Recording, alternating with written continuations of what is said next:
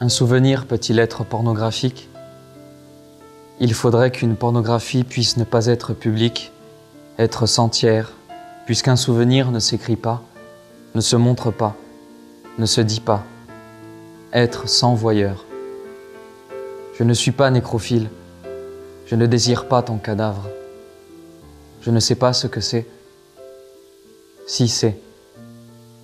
Je t'ai vue morte, je ne t'ai pas vu cadavre.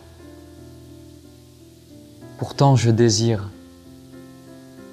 Ces souvenirs sont les plus sombres de tous. Ils font la violence la plus grande au principe de réalité. J'enfonce en plein jour dans ces embrasements. Tu bouges, tu respires,